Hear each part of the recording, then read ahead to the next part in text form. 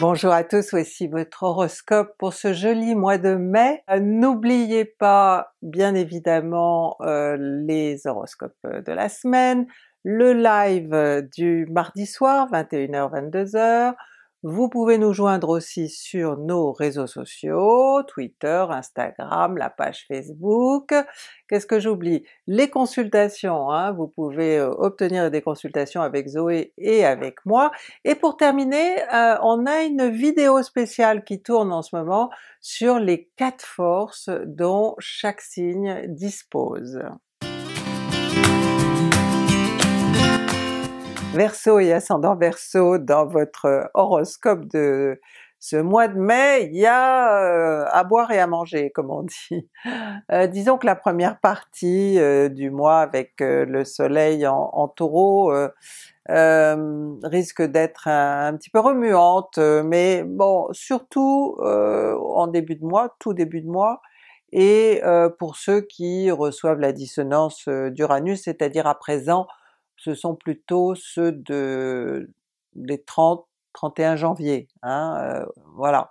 Donc les changements se précisent, peut-être que déjà, hein, ça doit déjà faire au moins un an hein, à mon avis, et là avec le, soleil qui va actualiser, hein, qui va donner vie à tout ça, vous allez être un petit peu désemparé par ce qui va se passer parce que euh, c'est quelque chose à quoi vous avez pensé mais vous vous disiez que c'était pas possible, que ça se passerait pas comme ça. Eh ben si, ça se passe comme ça. Et vous êtes bien obligé euh, malgré tout euh, de l'accepter, c'est une contrainte, hein. les, les, dissonances d'Uranus, il y a toujours des contraintes, vous êtes obligé d'accepter quelque chose dont vous ne vouliez pas, et il faut vous y adapter. Je sais que c'est difficile, euh, mais bon.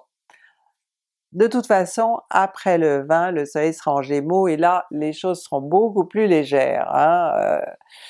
et bon, le Gémeaux étant un des signes les plus euh, sympathiques de votre zodiaque, où vous brillez, où on vous remarque, où vous attirez vraiment l'attention des autres, bah vous serez content hein, euh, de, cette euh, fin de, mois parce que euh, vous aurez vraiment l'impression de compter hein, pour les autres. Alors peut-être qu'il y a un accord qui va se faire, que vous allez, je sais pas moi, réussir quelque chose et que on vous fera moult compliments, mais en tout cas vous serez plutôt fier de votre image.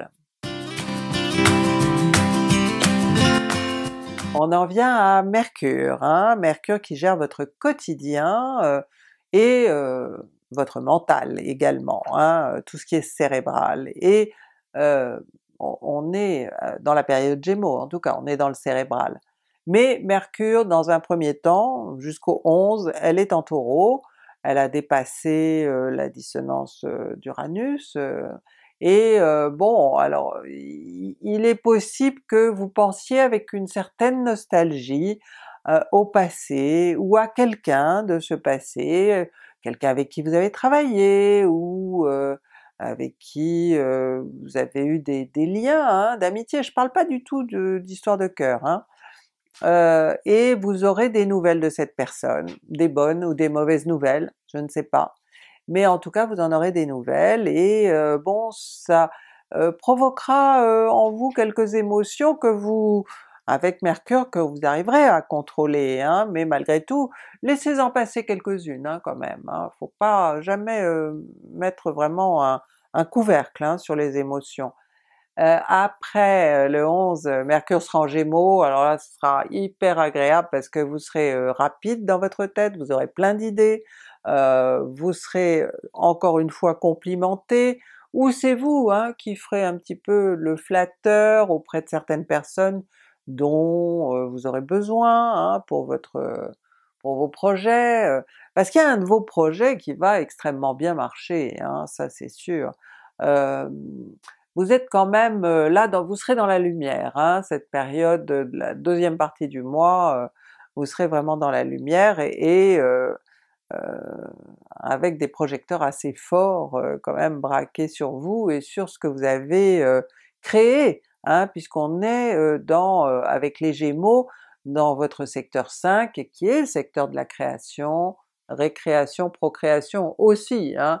Donc mais moi je dirais plus qu'il s'agit d'une création en ce qui vous concerne.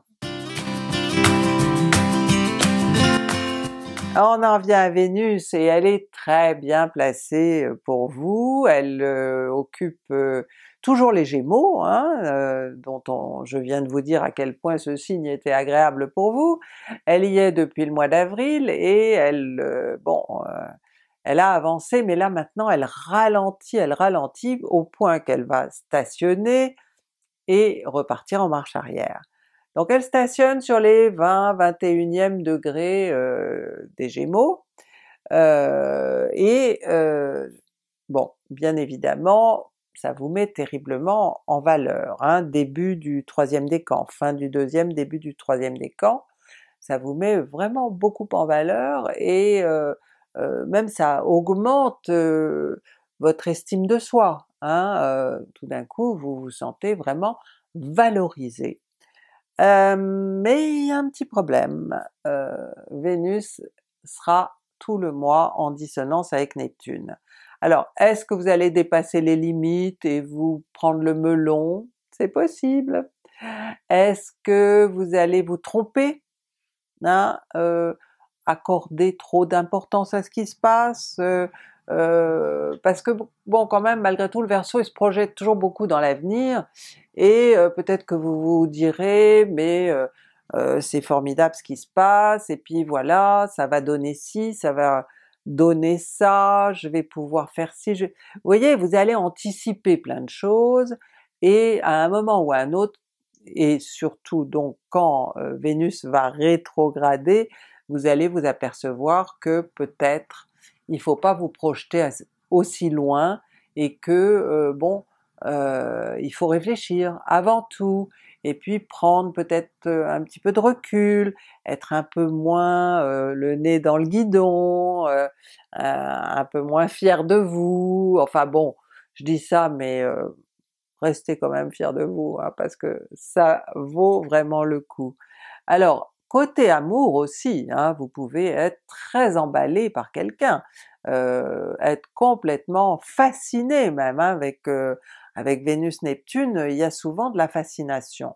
Euh, donc méfiez-vous, hein, plus vous serez fasciné, plus il faut vous méfier, parce que ça veut dire que peut-être cette personne, elle rentre dans un schéma qui est le vôtre et qui n'est pas forcément un bon schéma.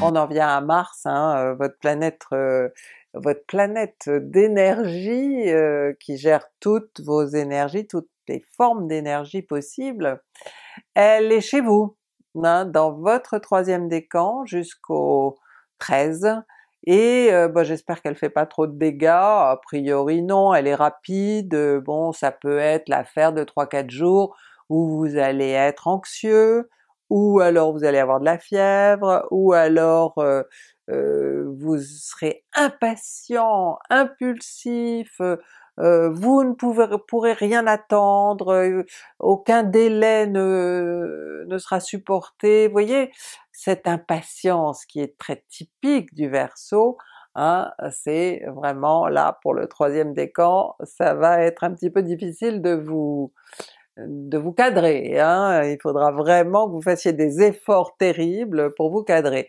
Mais c'est aussi une bonne période pour démarrer quelque chose, de, voyez, pour mettre euh, euh, quelque chose en route, un travail, une entreprise, euh, vous voyez, ça peut aussi être très positif.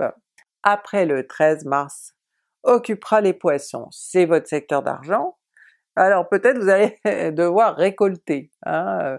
Récolter les fruits des efforts que vous avez faits précédemment, et ces fruits euh, seront bien entendu des euros hein, euh, sonnants et trébuchants, enfin je l'espère pour vous. Mais alors euh, bon, vous savez comment sont les gens là en ce moment, bon ils vous payent pas volontiers, hein, donc il va falloir que, que vous tapiez fort le poing sur la table pour vous faire entendre et, pour qu'on vous paye ce qu'on vous doit. Hein. Là vraiment, je trouve que c'est... ça va, vous, vous trouverez que ça va traîner un petit peu trop, hein, et vous aurez beaucoup de mal, hein. ça vous mettra en colère. Mais bon, en, même temps, euh, je veux dire, il y a des besoins euh, aussi qui vont s'exprimer avec ce Mars euh, en Poisson, et des besoins sensuels, des besoins de câlins, des besoins de tendresse, alors j'espère que Vénus vous donnera quelqu'un avec qui vivre ces besoins. Nous nous retrouvons le mois prochain pour l'horoscope du mois de juin. En attendant, si vous êtes impatient d'avoir euh, des horoscopes, vous pouvez aller sur le site de RTL euh, Astro, vous pouvez également aller sur celui du Figaro TV Magazine ou alors m'appeler au 3210.